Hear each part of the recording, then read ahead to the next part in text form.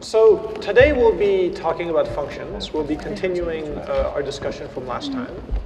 And something that was curious that we learned last time was that functions, well, we know that they take arguments, right? We know that they take input. And in the past, we discussed that they can take, you know, inputs like numbers and strings. But last time, what we learned is that functions can take other functions. That's interesting. So what this means is that we can create a function. Can everyone see the screen up there? Yeah. Yeah. Okay. So we can take create a function, and this function can actually take as an argument, as a, for example, a completely other function. So I can call f and give it another function as an argument. I could just as easily, actually, Jesus, how does this work? Ah, here we go.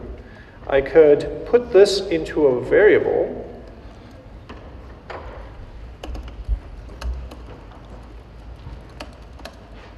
Sorry, I'm writing in a different computer, so I'm not that fast. Okay, and then I can pass that here. You see how the two are the same, right? That doing this is the same thing as doing this. Sorry.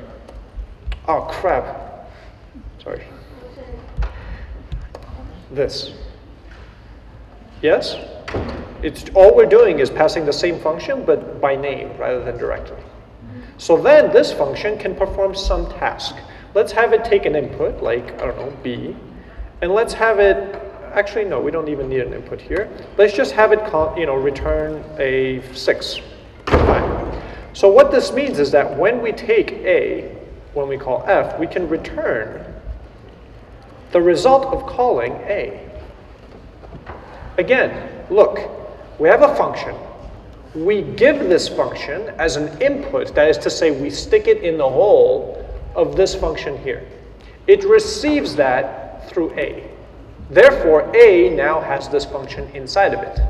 We can then call a, in other words, call this function that was passed to it, getting back some value, and then we're returning that value. So if we call a, what do we get back? What is the result of executing this here? 6, right? Look, this is the function. It goes here, then it goes there, and then we run it, and it returns a 6. Therefore, this turns into a 6. Therefore, running f here will return, if we console log it, a 6, as you see. That, again, this is the same thing as calling A. Notice it's the same thing. Any, is this confusing to anyone? Raise your hand if it is. It's okay. All right, good. Okay, so the idea is this. Remember, we had this notion of a box, right? That had like a hole and two holes, right? Where we could pass inputs and we can get outputs. Well, in the same way that I wrote a number and I put something in the hole, I could just take another box, another function, if you will, and put it in the hole. So now you have a box inside of a box. And that box can use that box to do something. This is the case here, right? We have this function that we're passing into this f, this function, this box, and then f, being this, is using that function somehow. It could do something else. It could do a multiplied times a, the result of calling a, that is to say. In other words, what you're doing is you're running this function here, which is giving you a 6. You're running this function here, which is giving you a 6. And then you're obviously doing 6 times 6, which is 36. Right? Okay, cool. The other thing that we realized is in the same way that we can pass as an argument a function, we can also receive a function as output. That is to say, the function can return another function. Here's an example. So suppose uh, here we actually don't take any arguments, and instead what we're going to do is return return a function. Let's get rid of all this other stuff. If I call f, what do I get back? Right, look, it's returning that, right? If it's confusing to you, think of it this way. What does f return now? A 1, right? Okay, now instead of 1, I'm just returning a function. Okay, sounds reasonable, I think. Okay, so then let's have this function do something, like, I don't know, return a 10. So that means r is now the, this function here, which I can call. And I can do const r2, and what is in r2 now? 10, cool. Now watch this. I could do this. What is an r? What do you think? Yeah, because think of it this way. Think of it as, here, let me simplify it for you. Think of it in mathematical terms, right? You do this one first. What does this part return? The function, right? Then this part acts on that function. This is no different than if instead of returning a function, we were to return a, you know, a 10 or let's say a 7, and then here after calling it, we were to, you know, add a 6. What would be in R now? Right, 7 plus 6, 13, right? Okay, that is, so in the same way that we can take the result, this function that is returned by calling this, and do something, we can in the same way do that. So this part will return that function. This part will then call that function. Make sense? To whom does this not make sense? Yeah, it's okay? Okay, very good. All right, so this was sort of the, the beginning, right? We, we talked about, the next thing we talked about was scoping, right? Variable scoping. And one example that I brought up is this idea of currying, where a function can return a function, can, which can also return a function. You guys remember that one? Let's, let's look at it again. So let's have this function take an argument like a. Let's have this function take an argument like b, and have this return another function, which takes an argument c. And have it then return, return a plus b plus c. Okay, now, if I were to call f, what would I get back? The function. Look, this f is this function, correct? What does this function return? Well, look inside. Look, it does return this guy, right? Therefore, the result of calling this, uh, f1, let's say, f1 is now this function here, right? Now, if I were to call f1, what would I get back? Yeah. Look, if this function, if I call this function, what does it return? Well, look inside. Look, it returns a function. Okay, interesting. So I get another function. So then what happens when I call f2? Sorry. Uh-huh. Now in this case, if I were to do const, you know, f3 for example, what do you think would go into f3? Yeah, look, we didn't pass a value here, right? Which means a has no value, which in JavaScript, if you remember, is undefined, right? We then called f1, again with no value, which means b does not have a value, ergo, it is undefined. Same thing in this case, right? c does not have a value, therefore it is undefined. Fair enough. So let's print what f3 will give us. Console.log f3. There it is. Makes sense, right? NaN, not a number. You can't add up undefineds. That doesn't make sense. Remember, if one of them was string, then it would try to concatenate, right? Then it would turn undefined into a string and try to stick it together. But that's not the case here. Here we're just trying to add undefined to undefined to undefined, the result of which is not a number. What are you doing, right? It's a mistake. Okay. So fair enough. So instead, let's give it values. So instead, let's give, you know, let's have A receive a 2. Let's have this one, which is that one, right, receive, I don't know, a 6. And let's have C receive a 9. Right? So in this case now, we're, well, if A, whoop, so in the first, oh, I'm sorry, this scroller is really, okay. All right, the first time we call f, we go in here. a has a value of 2. We then return this function. Then we call this one, which is with a value of 6. So b now has 6. We return this one. Then we call that one here, and we give it a 9. So c now has a 9. Um, and we return this. Now, interesting, and this is where scoping comes into play. When we look at A, does A exist? Has it been created anywhere within this function? No. No. What do we do when we cannot find a variable? We go up one, right? We go up to the parent scope. Okay, so the parent scope, the thing outside of this box here, is this box here. Does this part, this section here, does that guy contain an A? No. No. So we go up one more, and we end up here. And does that part contain an A? Yes, there it is, right there. Voila, A. Okay, and we know that A was 2 because we passed it, so we receive a 2. Therefore, A is interpreted as a 2. B, we do the same. Is there a B in this scope? No. We go up one. Is there a B? Yes, it is. It's right there. And B was passed in here, so it's a 6. Therefore, B becomes a 6. C is easy because we have it in our local scope. Pay attention to the words I'm using because you will hear these. Local scope means the scope you're in. Okay? Parent scope is your the parent scope, right? Makes sense? Good. Okay, so C has a value of 9. So we give it a 9. And then this is evaluated, and therefore the result of that is put into F3, and we get 17. And let's go back to, does this undo? yes, all right. Now, interestingly, suppose I had another constant, uh, d, which had a value of you know 20 and I did plus d here, would this work? Yes, why?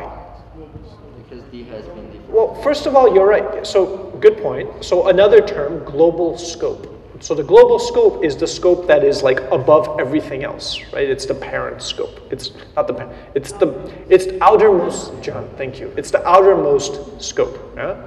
It's the scope that wraps everything else. And remember, using the rule that I described, it works because if you don't have D locally, you go up to your parent. It doesn't have it, you go up to that parent. Doesn't have it, you go up to the very top, which is your global scope, and you find D, and you receive 20. That makes sense.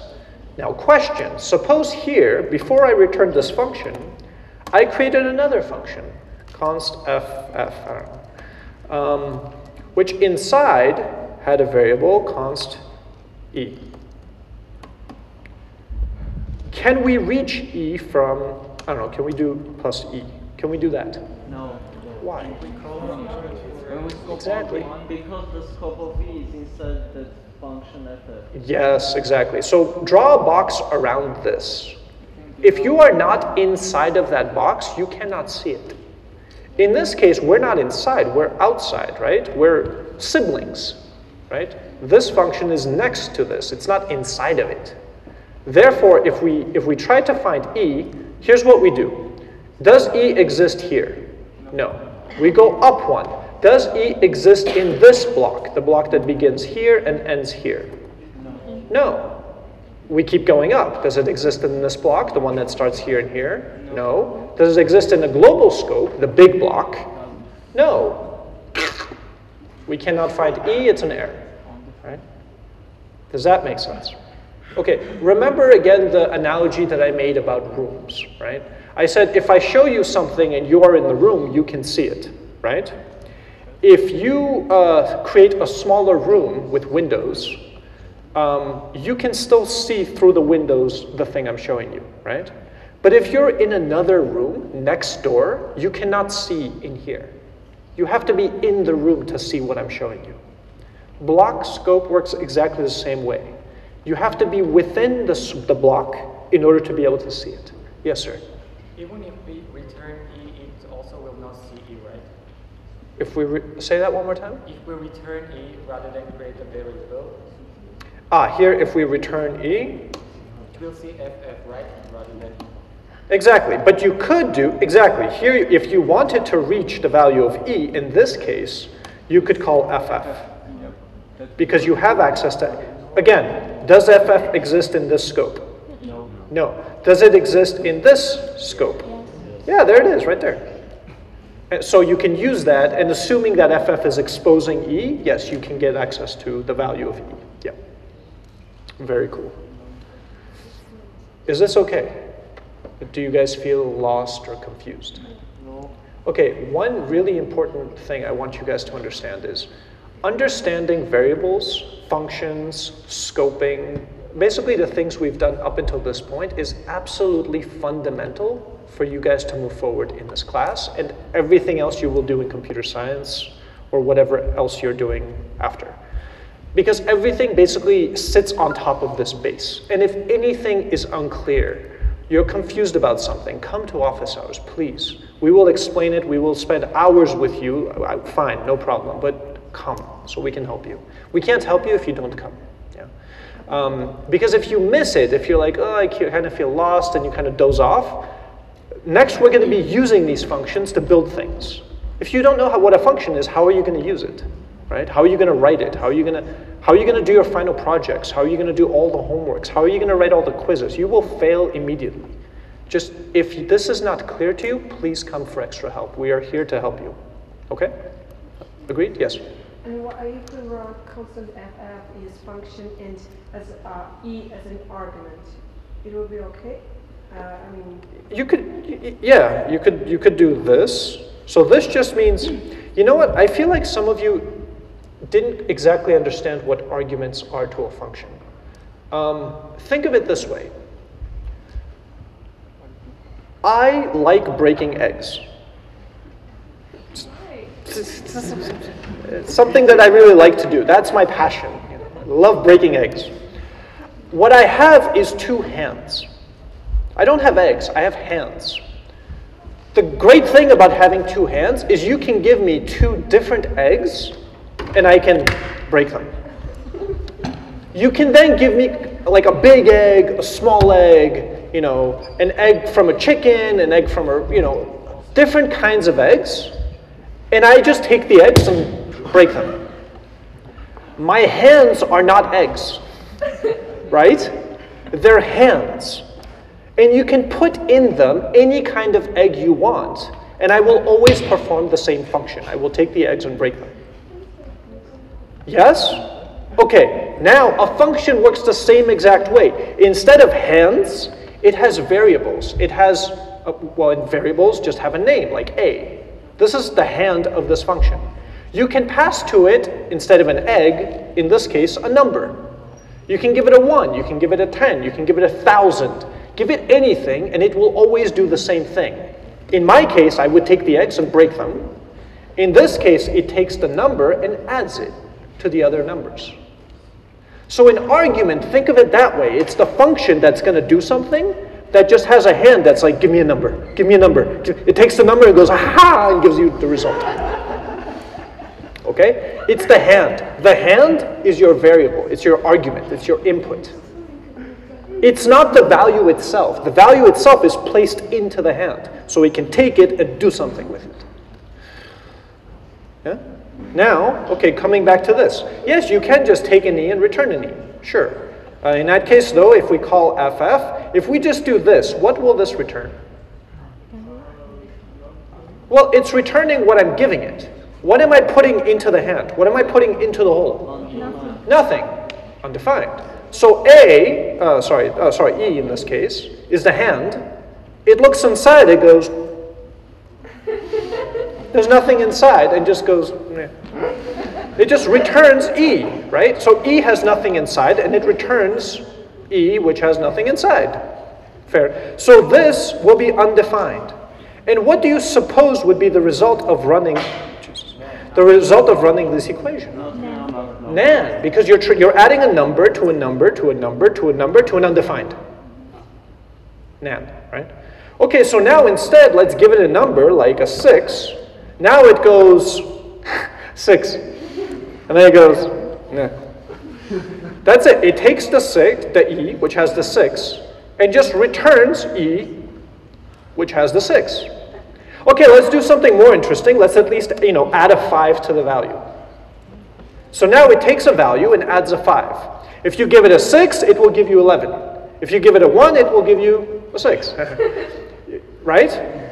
you can put different things into the hand, different sized eggs, if you will, if it's me, right? Different values into the hand, and it will do an action that is slightly different depending on what you give it.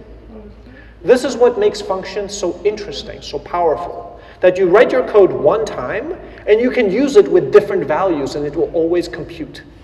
Yeah? So in this case, again, if we want to take do the power of, you know, if you want to, uh, not um, if we want to do e times e to the power of 2, yeah, we can just return e times e. There, we now have a function that does that. If we give it a 6, it's 36, right? If we give it 5, it's 25 we can give it any value, it will do the right thing. You guys understand functions now? Sort of? Okay. And did I answer? Yes. Yes, cool. Okay. Um, but the argument e itself, the variable e, if I were to literally just try to reference e from here, if I were to do this, you understand why, right? Because we're not inside of the block in which e was made, was created or declared is the fancy way of saying it. Got it? Yes? Okay. Questions up until this point? Okay, let's dive back into recursion then. So, what is recursion? Well, if you recall, a function can call another function. I think that's pretty clear, right? Why not? Um, if I want, if you give me three eggs, right? I might, you know, give two eggs to someone else and say, hey, you know, break them. Take the result and then, you know, break the third one, smush them together and give you an answer. Give you the result of three eggs broken. It's a random example, I know. Okay, let's do one that's not that random. Let's try to compute a factorial. Ooh, going back to math. What was factorial? Yeah, so you give it a number and it's like that number times one less than that, one less than that, one less than that, all the way until you get to one, right? You remember that? Factorial looks like this in mathematics. Yeah, so this is 5 times 4 times 3 times 2 times 1. Okay, imagine if, like, how would we do this, you know, in programming? How would you do a fact? Yes, sir. Uh, I, I wanted to say. Oh, you want to give the answer? Okay, wait. I, I, I, if you have the answer, that means you're good. Don't worry. Just wait, wait a moment. Okay, so one way to do it would be to um, say, okay, let's create a, you know, some function f that takes a value, and it, what it does is returns val times val minus 1. That is to say, you know, the, the number itself times 1 less. So if you give it a 5, it will be 5 times 4.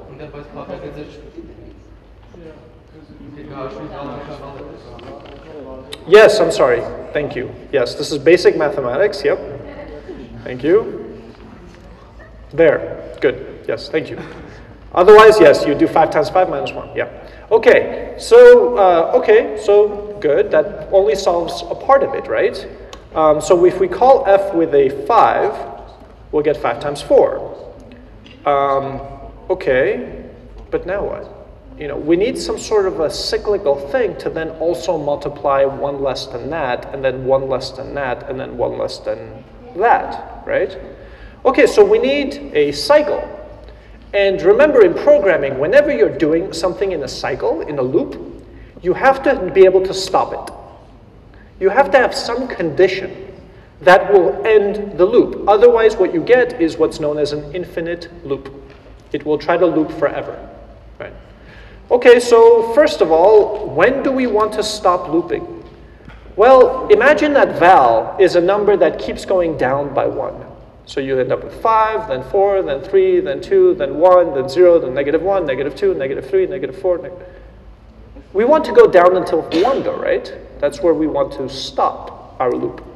So what if we made a condition, and how do we make a condition? If val is equal to 0, for example, or equal to 1. Either one will work. Let's say equal to 1. Uh, let's return, return val. If it's 1, let's return 1. Let's assume 0 will not be called by this function. Just make it simpler. Okay, so great. Okay, so now we have a function that if we call it with a 1, it will work. It will return a 1. If we, were if we call it with an 8, it will do 8 times 7. Right? Right now, the way it's written here. Okay. But obviously, that's not what we want. What we want is 8 times 7 times 6 times 5 times 4 times, right? So we need some looping construct. So what we want to do, if you think about it, is to multiply value times the factorial of that value minus 1. Think of it this way. Factorial, factorial 7 is exactly the same as 7 times factorial of factorial of 6. Which is exactly the same as doing times uh, 6 times factorial of 5. Right? So you notice something, we keep repeating the operation. This is known as recursion. We keep trying to do a factorial of the next thing. So what we want to do, again, remember, going back to this example, 7 factorial is the same as 7 times 6 factorial. Right? Now let's turn this into code. Val is 7. Huh? That's not six, that's six. Chujogas. Exclamation point. Sorry. Six factorial. Good. Sorry. Sorry. Factorial is on the right. My apologies. Okay. Good. We're, we're happy? All right. Okay. So 7 factorial. To compute 7 factorial, what you have to do is multiply that value times the factorial of 1 less. This is mathematically sound? Everyone agrees? Yes? Okay, so let's turn that into programming, into code. Val is 7. Let's just say we're going to call it with a 7 here. So when it goes in here, val is going to be 7, right? Is val equal to 1? No, so we skip it. So we're doing 7, remember, 7 times factorial of 1 less. So let's do the factorial. In fact, remember how I told you naming is important? Like, what the crap is f? Why don't we call it? Uh huh, now this is looking a lot better. See? Did, did I write it correctly? Okay, so now, okay, we're doing 7, which is the value, times factorial of 7 minus 1 is 6. Looks correct. And then when we go in here for 6, we do that's the same thing as 6 times, right? This then resolves to 6 times the factorial of 6 minus 1, which would be 5. So 5, and then put that on the right. Yes? Okay, and then when we go into that function again with a 5, is 5 1? Is 5 1? No, right? 5 is not equal to 1. So we do 5 times the factorial of 5 minus 1. So we therefore we do 5 times, this resolves to 5 times the factorial of 5 minus 1, which is 4.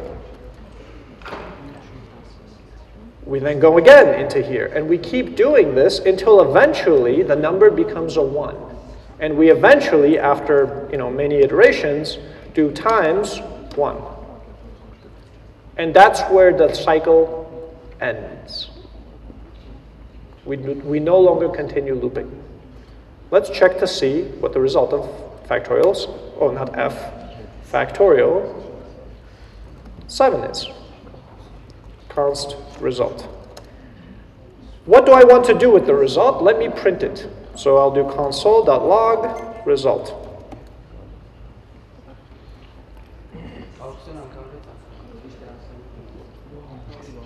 There it is. Okay, let's do a, a number that's smaller. Uh, 3. 3 times 2 times 1. Magic. You notice how the value can change? The size of the egg that you give me can change. I'm still going to break it. This is the idea. The number that you give it can be different, but it still does its job. It doesn't care. If you give it a 5, it will work. If you give it a 4, it will work. Make sense? Um, okay, so let's try with a 9. Ooh, that's a big number. Wow, numbers tend to go 4 times 3 times 2 times 1. 40, no. um, okay, so you guys understand recursion now? Yes? Is there a limit for numbers? Is there a number limit to? Okay, so, uh, yes and no. Okay, let me explain something.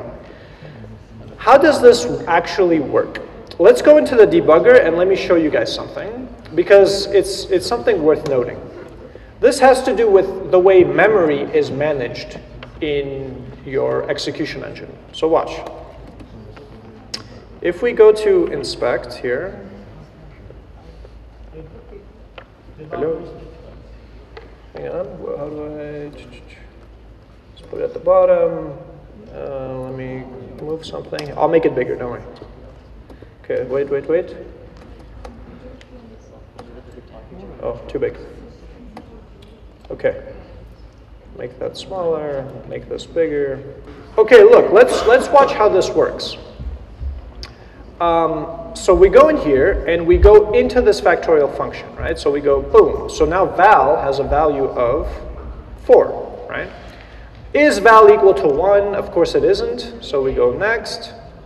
So now we're doing val times the factorial of val minus 1. Remember in math when I wrote just, it's like 7 factorial is the same thing as 7 times factorial of, or 7 factorial? 6 factorial. 7 factorial is the same thing as 7 times 6 factorial. Yes? Same thing here. Look, 7, it- we gave it, a, sorry, in this case we gave it a 4, is the same thing as 4 times factorial of 4 minus 1, which is 3. Starting to make sense, right? So now let's go into this function. You notice there's this thing called a call stack. Let's keep going. Let's go again. Ooh, there's another one. Let's go again. Ooh, there's another one. What is happening here? Well, it turns out that the operating system, so this is a bit of system theory, just so you guys understand. How does memory get allocated?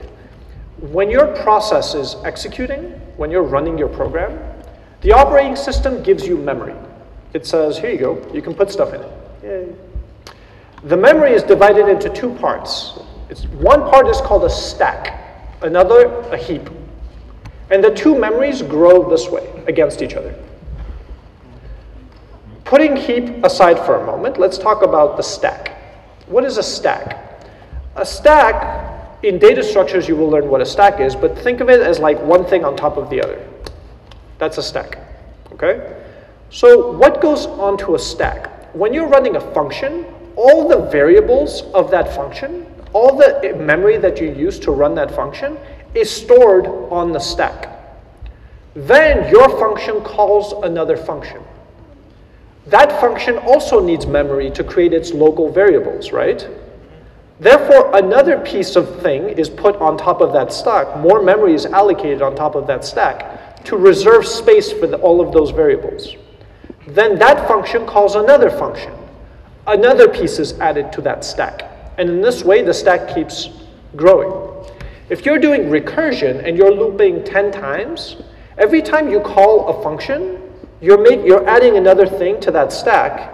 Then when the function returns, that is to say finishes and all the variables are removed, the memory is cleared from the stack and you go to the next one.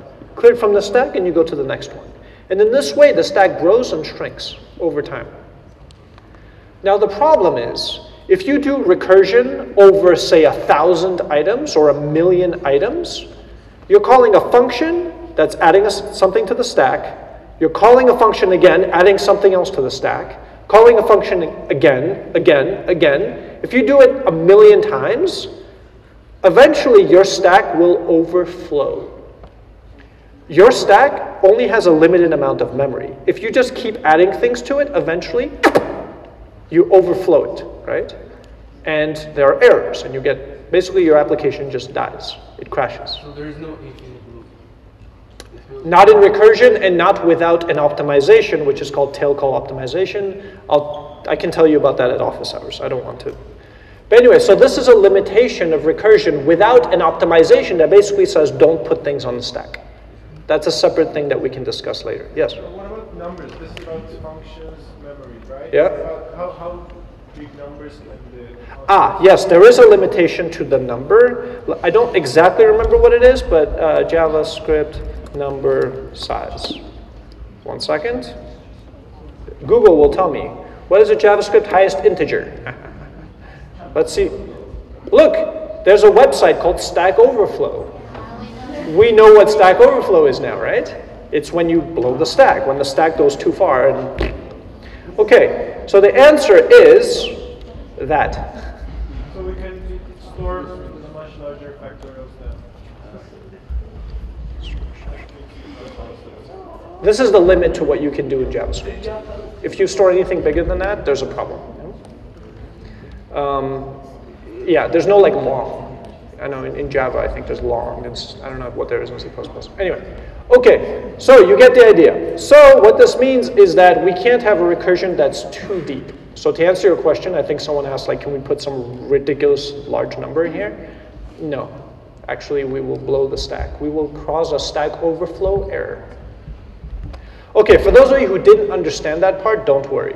That's, it's not, I'm not going to quiz you on it. Just be aware that this is an issue.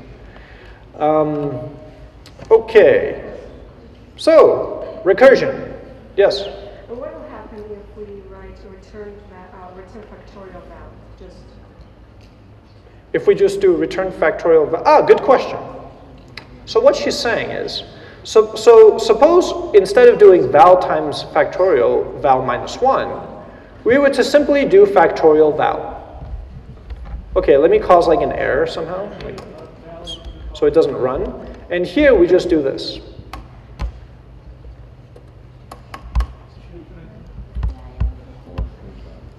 Yeah, it's an infinite loop. Think about it. So what is val? Well, he, in this case, val is 4, right? So we come in here, val has 4. Is 4 1? No. So we call the function again with 4. Is 4 1? So we come again and call it 4. And we just keep doing, we just keep looping. Yeah? You sure? Hi, Jeff. Uh, shouldn't we write uh, else if uh, before return? Good question. So what he's saying is, so if we, we learned that you can have an else construct, for example, I mean, you don't really need an if because that's the only other case you have, right? You could just do else. You can do it this way. This is also completely okay. But the thing is, if you think about it, what do we mean by else? Else means only run that if the if fails, right? But if you think about it, if the if does not fail, you're going to return. That's going to stop the function. So the else will, like, the rest of the code is not going to happen anyway. So this is actually exactly the same, in this case, as this. If I didn't return here, you're right. This, we, we would need an else here, right? But because I'm not, I'm returning, I'm stopping the code. If it ever goes into the if, it returns and done. If it fails, then it goes in here. So you automatically get an else, basically, out of that. Did that make sense? You sure? Okay. Miata Hatskar. How does Uh, what if we are putting negative numbers? Ah, s- good question. So in this case, actually, I'll pose it to the audience. You guys tell me. What would happen if I passed, instead of a 4, if I did this? Right, in this case, for this code. Right, it's an infinite loop. Think about it. Because you get negative, okay, let's go back to um, the actual working function. Okay, so let me break this. Okay, so now if we do negative here, negative 4, for example, right? What would happen? Well, you, negative 4 goes in here, right? Is negative 4 1? No. So we do negative 4 times negative 4 minus 1 is negative 5. We go in here, negative 5. Is negative 5 equal to 1? No. And we keep doing this, but notice we're moving away from 1. So it's going to keep going.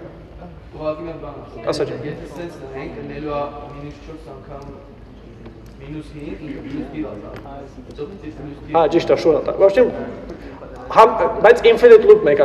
Actually, the problem isn't. So what he's saying is, first of all, there's a logic error because we keep flipping negative to positive, positive to negative, as we multiply negatives and, and so on, right? Every other one. The doesn't change. Hmm? The doesn't change. The. Right, but he, he means what we're trying to return is constantly going to flip. But the problem is it's never actually going to return because it's constantly going to loop and compute the next one. So what you've ha- you have now is an infinite loop. It will never return. Because before returning, it's going to compute the next one, and the next one, and the next one, and then and it just keeps going. The- yes, sir. Uh, factorial is defined only in positive, non-negative numbers, right? So we can add, uh, or where, well, like, uh, when it is less than zero. Yes, absolutely. So one thing we could do is known as error checking. Right. Error checking means you check the arguments that you get to make sure that they're okay before you do your work. It makes sense, right? If my job is to break eggs and you give me rocks, right? And I'm like, okay. So one thing I might want to do is when you give me eggs, check, is it an egg? If it's not an egg, tell you, dude, you know, eggs, please. If it is an egg, great, right? Okay, so in this case, what we can do is say if, you know, val is, um, well, first of all, we can do type of, type, type of val is the same thing as a number. By the way, what type of, what is type of? What does it look like to you? Whether it's string or number. Yeah, but what is it? But it's it looks like a function, right? So let's treat it like one. So let's treat it as a function that takes a value and returns a string that that says what it is. So in this case, if it's if it's not a num- number, if it's not a number, what's something that a factorial cannot be? Can it be a negative one? No, right? So why don't we have negative 1 be reserved for error? Basically, if you call factorial and you get back a negative 1, you know something happened. Something's weird. Yeah, or we can do it, right, or we can return undefined. True. We could just return, which is the same thing as returning undefined. Um, we can also, okay, so this will just check if it's a number. We can also check if the val is greater than 0 Or equation. or equal, okay? Yeah, but in that case, we have to account for this case. We have to do if is equal to 0, uh, then return 1.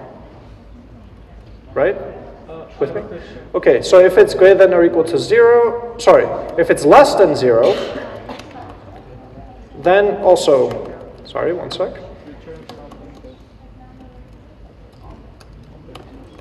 Also return undefined, right? And only if the value is a number and that number is greater than 0, then and only then should we loop. Yes, sir? Uh, I didn't get this type of. So we say if the type of val equals to a string. No, no. Okay, so type of is a function Yeah. which gives you back text that says what it is, the value that you gave it. So in this case, if I give it a 7, Ah, it would be a string that says a number. Okay. it will give me 7. If I give it, you know, ABC, it will give me a string that says string. string. Okay. Make sense? Yeah. Cool. Okay, so if it now instead of writing two if statements, I could do something a little smarter. Go. And John, exactly. So instead of writing two if constructs, I could just put this, but in this case we want Or. or. There you go. Now I can, if I can learn to scroll, how do you scroll with this thing? Oh my god. Sorry. Okay, good. And now we can remove uh, this guy.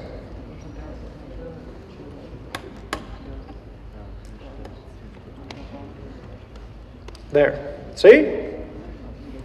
Make sense? So if the number is not a number, if the number, if the value is not a number, or that number is less than zero, don't do anything. Return nothing. Say, you know, no. But if it is, if it is a number and it's you know greater than zero or greater than or equal to zero, then okay, we can do something. So that's when we begin our operation. Yes. Can we also write type of val equal to NaN? No, uh, no, because NaN, NaN is not a type. NaN is a value. Um, so what you can do is, if you want to check to see if something is NaN, you say, you call a function called is NaN, and you give it a value. So if is NaN returns true, remember, things that begin with is functions that begin with is typically give you a Boolean result, right? Is this building, you know, red? No, false. Is, you know, this computer, you know, a laptop?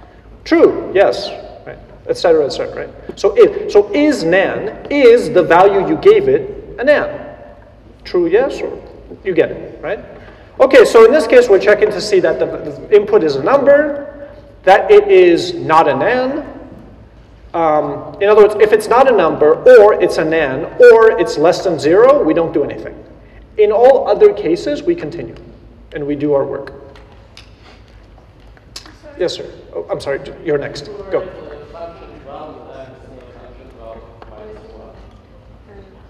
Mi adı canım. Function val times function val. Uh,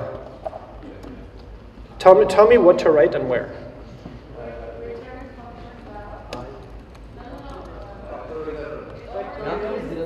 Direkt function vel.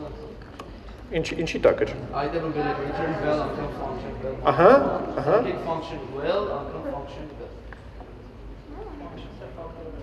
Factorial you mean? Ah, sterkare factorial. Hence val to val minus one. Okay, do, you tell me, what will happen? Wait, wait, wait, I want to think about it for a minute.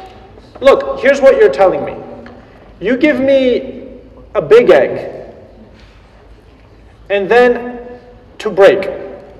I then tell myself to break the egg, and I give it the egg. I then tell myself to break the egg, and I give myself an egg. And then I tell myself to break the egg, and I get. Look what's happening. Look. Val, let's say you call it with a 4. 4 goes in here. First thing, is 4 a num- not a number?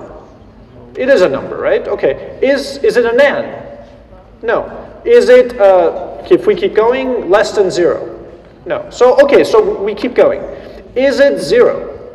Is 4 a 0? Yes or no? No. So then what we do is we call the function with a 4. Is for any of these things? No. Is for a 0? No. We call the thing with a 4. Is 4, you understand what I'm saying? Now what you could try to do is do val minus 1. That's interesting. You guys, now you get a tree effect, right? Is what you're doing is your factorial function is trying to do, yeah, 7 factorial, so 7 factorial times 7 factorial, which then in turn is trying to do 6 factorial times 6 factorial, and you get this crazy number at the end. Okay. Howdy. Two, this would be.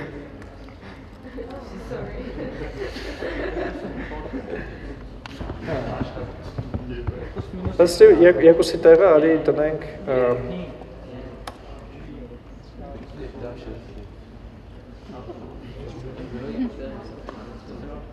factorial val minus 1 times factorial val minus 1. And then val and return 1. Return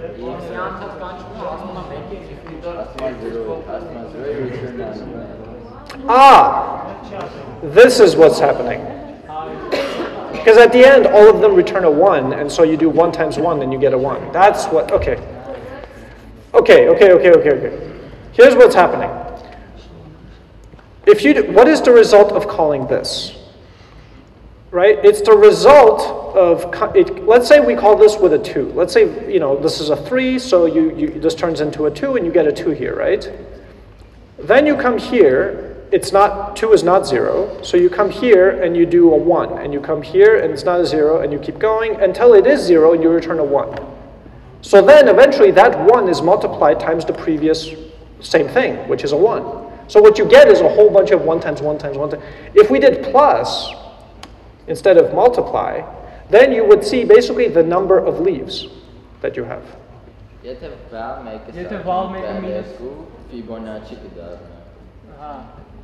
Not bad. Very cool. Okay, left. Wait, let's come back to, yes.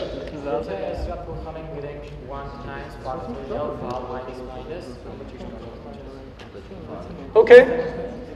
Aha. Yes, Haskatsa. Duk Haskatsa. Good. Okay. Um, the rest of you. yes, I'm sorry, you had a question.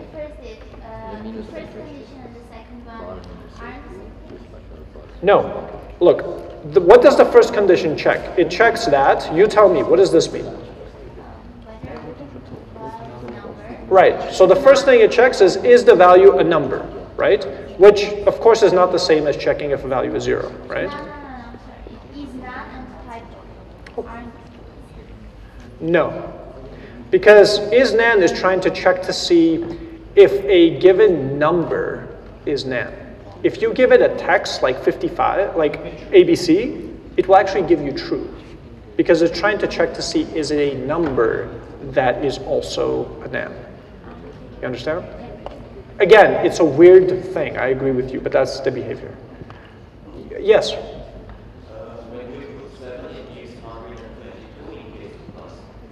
If we, wait, should I go back to the original? This version, okay. If we gave it a 7, uh, 128, yeah.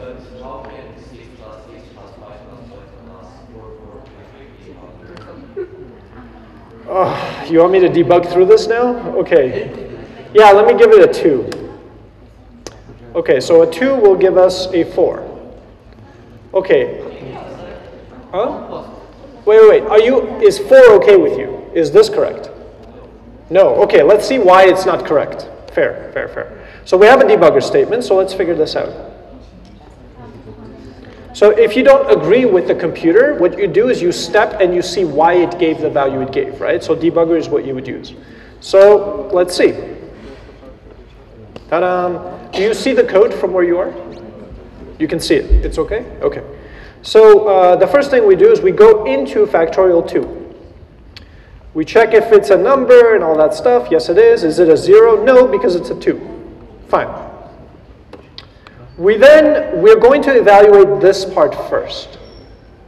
So we dig into the left side of the equation. So factorial of 2 minus 1. What does that give us? It, is it 0? No. So what we do is we do the factorial, again, remember the left side, of 1 minus 1. That will then return a 0, right? You'll see it in a moment. Exactly. So bear with me. So we would get a 1 from there, right? Okay, so this part is a 1. We have another one to the right that we have to do. Yes? Okay, so again, we do 1 minus 1, which will give us a 0. So this part is also going to give us a 1. And 1 plus 1 is 2. Agreed? Okay, so we go in here. Um, and we're going to return a 1. Okay, so now we've returned from that original 1. And now we have to go to the right part of that first one where val was, wait, val is 2. We now have to go into, yeah, remember val was 2? We now have to go into the right part of val is 2. Look, the equation has a left side and right side, right? When you go into the left side, that also has two equations, the left side and the right side. And you keep having to go down this tree, sum up the result, and then you have to do the right side. So, so far, the left side, we got a 2. Are you with me? Hatacha. Ah. Okay, so now we're going down the right side. 2 minus 1 will give us a 1. That's why we have a 1 here. 1 minus 1 plus 1 minus 1. What, does, what is the result of doing factorial 1 minus 1? Intelligent? No, look. Val, if val is 0, what do we return? Ah, Askazar? Aminch Parzahima. Okay, so to continue, what, what then, so you will get val minus 1, which is 0, plus 1 minus 1, which is 0. Factorial of those is 1 plus 1. So you get 2. So the left side is 2, the right side is 2. You add them together, you get 4. Yeah? 20. Asajan. In the line of return, it works uh, simultaneously, or first it uh, counts the first part and after the second. Yeah, it always does.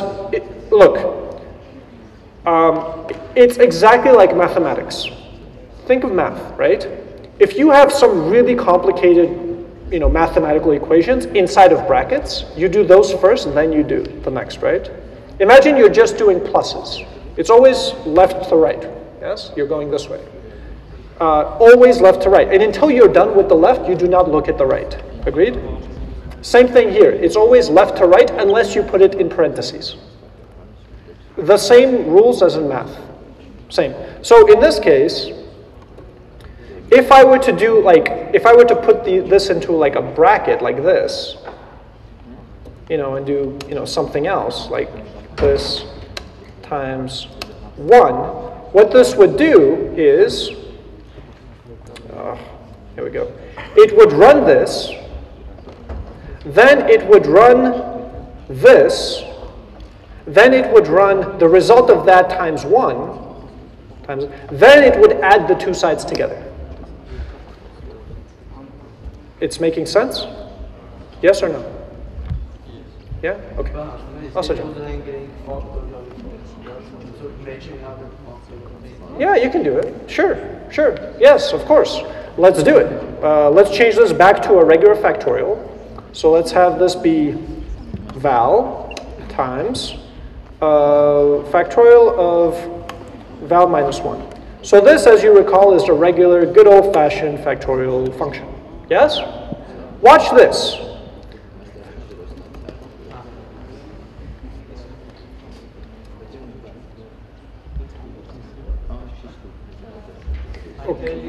Because, okay, 2 is not a good example.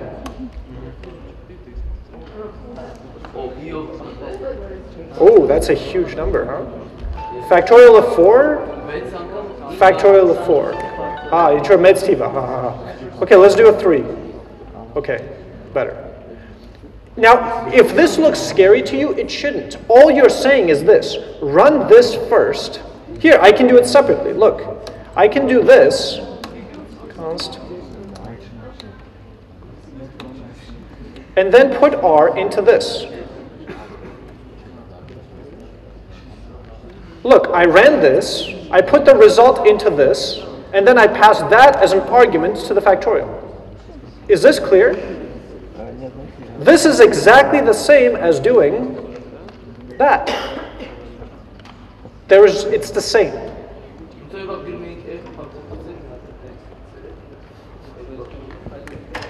Ah, and, huh? okay. function image function. Function image functioning. Doing run and what is it?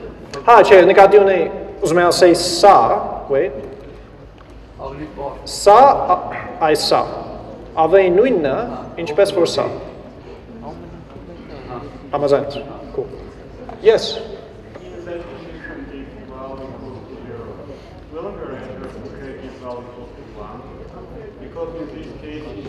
return, you will have one time one. Okay, let's, I understand what you're saying. Look, let's go through the exercise. If you, factorial of 1, this part here, right? What happens? Well, actually, why don't we open a debugger and you can see exactly what happens when the debugger decides to open. Okay. Okay, look. So the first time when I hit the, the down button, it's going to go into this one, right? Because we have to do this one to then produce the result that will get passed into this one. Agreed? Okay, so let's go into the one that says factorial 1. So now val has 1. And what we do is we say, okay, 1 times, value times, factorial of 1 minus 1, which is 0. And if you recall, if val was 0, we're going to return a 1, so let's see that. Yes, it is. It's 1. So 1 times 1 will give you 1. So yes, you're right. Factorial of 1 gives you 1. Then, when you return from this, you go into the parent. So the result of this part was 1. So you're calling factorial again with a 1. And you will get the same result. So factorial with factorial 1 will give you 1. I don't know if I answered your question. I was asking about that condition. For example, we can write if val equals to 0 or equals to 1. Ah, yes, yes, yes, yes, yes. Very good point. An optimization that could be done, in fact, is instead of calling a function again when you have a 1 just to get a 0 and then get a 1 again, if you think about it, that's a bit redundant, isn't it? If this, this results in factorial getting called again with a 0, just so we can get back a 1 again, so we can return a 1. We can do better. So one thing we could do is not only check 0, but also check 1. Because if it's 1, factorial of 1 is what? Right. So why call a function again just to know that? Right? Right, which is why we have this, this here. It's or. No, okay. And would mean that the number has to be 0 and it has to be 1, which would never happen, of course. Right? So it's or, gam. Gam tiva 0야, gam tiva mega. Okay? Is this clear? Questions up until this point? Okay, we know factorial. Very cool. Let's see what time it is. Ooh, not a lot of time. Okay, let's do a few more things here and then. So, okay, I guess objects and arrays will move on to Tuesday. We'll work on them on Tuesday. Today, let's work on functions a bit more just to make sure you guys really understand functions. And then I'll give you a nice homework assignment where you can write functions. Recursive functions. Yes. Okay. Here's a fun one. Let's draw something.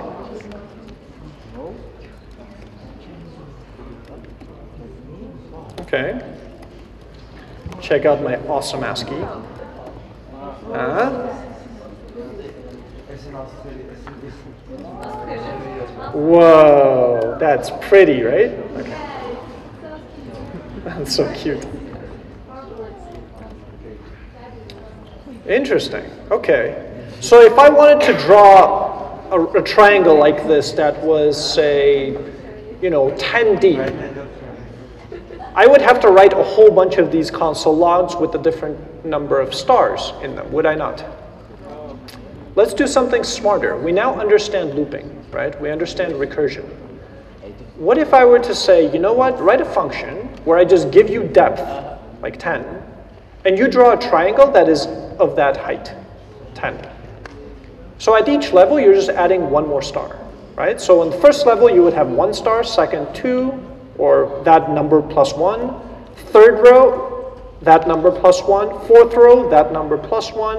And you keep doing this until you finish at whatever number I told you. Yeah?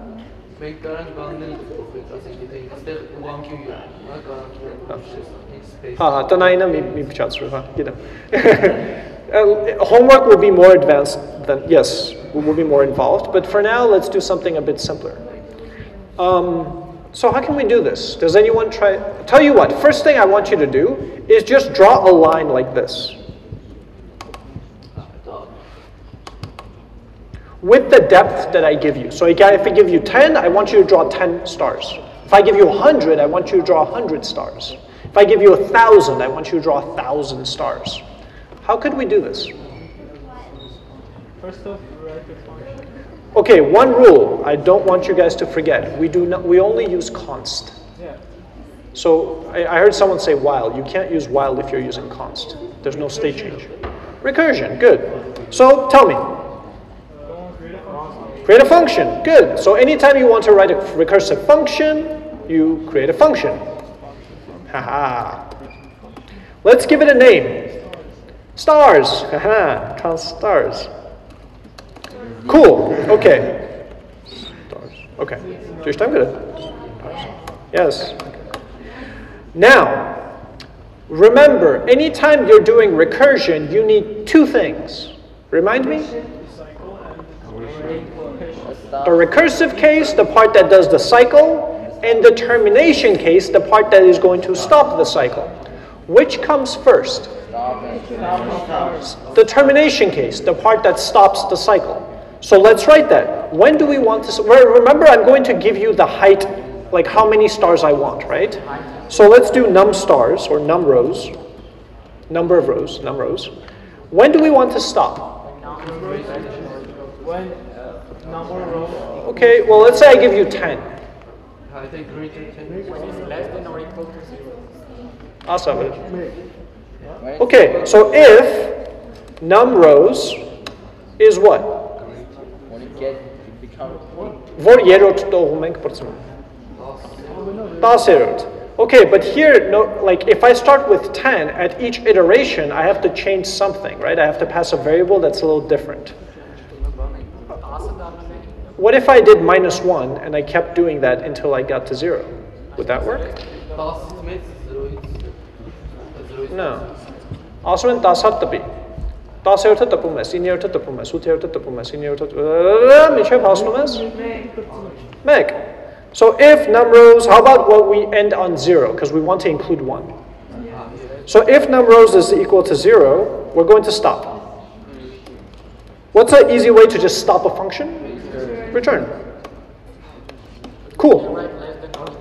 So, so now let's do the recursive case. Remember, recursive mean, oh, we have to print a star, duh. Console.log star. Okay, we're printing a star, beautiful.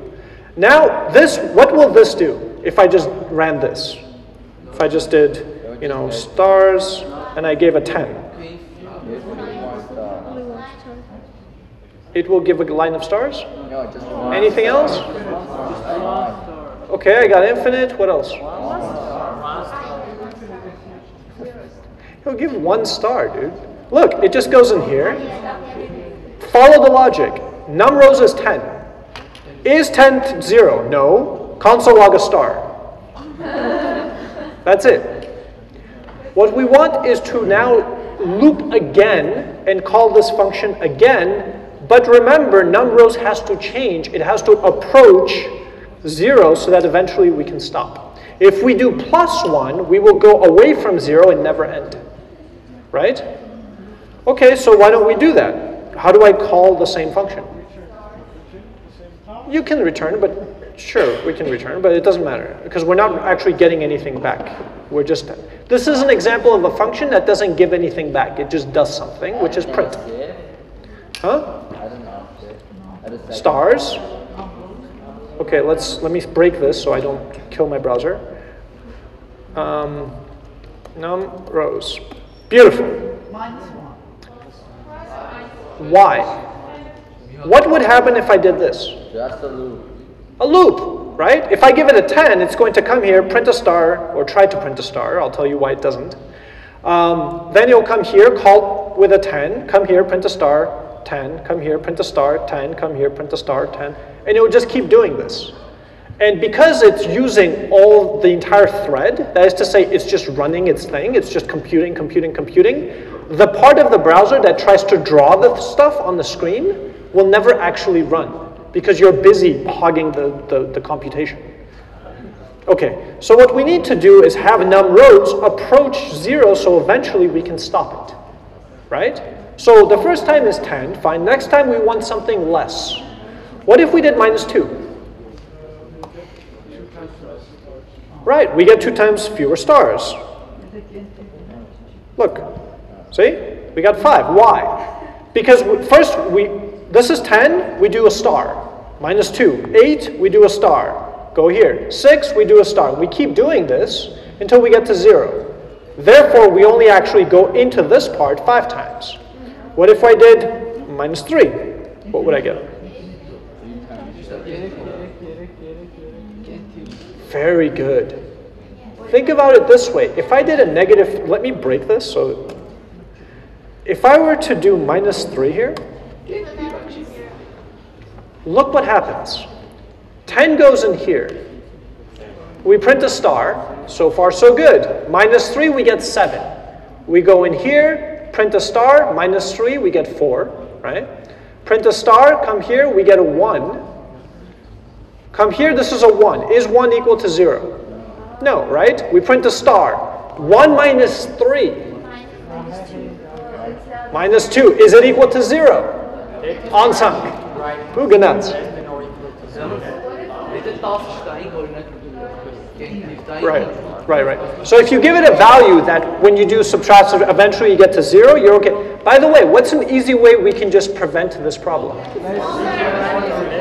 Right, we can just do if num is less than or equal to 0. Now, if we jump to negatives, it's still okay. Right? Yes. Okay. Um, okay, cool. So let's do, if I give you 10, I want 10, right? So what do I do? Minus 1 maybe? Uh, let's change this to stars. And we get 10. Look.